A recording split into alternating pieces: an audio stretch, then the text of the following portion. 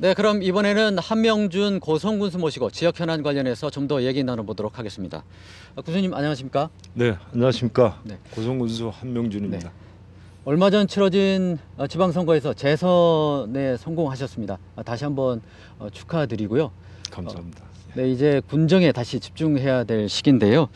어, 고성군에서 3년 만에 도민체전이 열리게 됐습니다.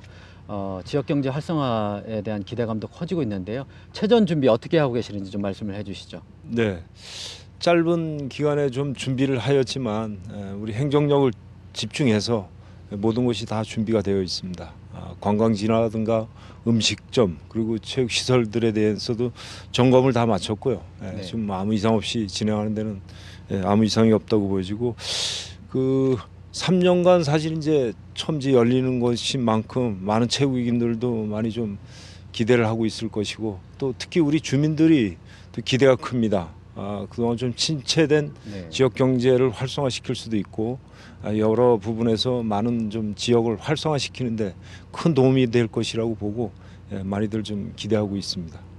네, 고성군은 올해를 통일경제 관광 특구 지정에 어, 이제 속도를 내겠다고 밝혔는데요. 이를 위해서 한옥마을 조성 등을 위해서 투자 협력도 맺은 것으로 알고 있습니다.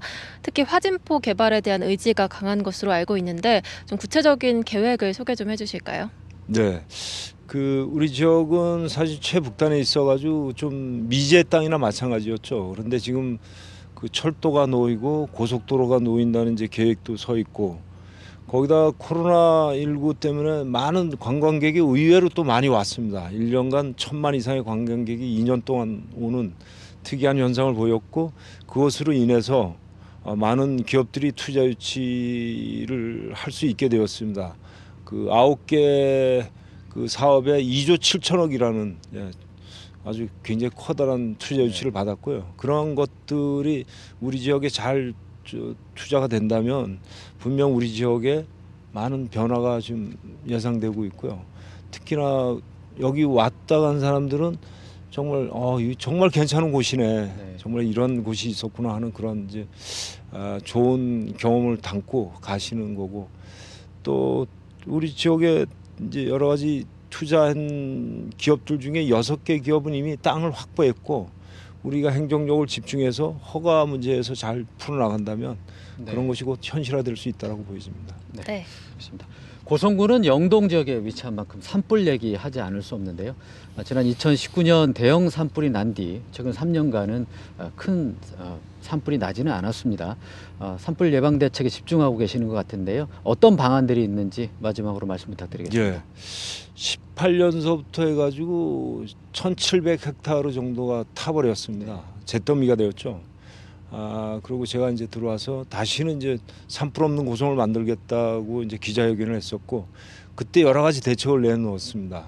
아 물론 이제 마을 이제 진화대도 형성시키고 또 보일러에서 불이 많이 나는데 화목 보일러를 펠릿 보일러로 바꾸는 작업을 지금 이제 계속 좀 이어져 나가고 있고요.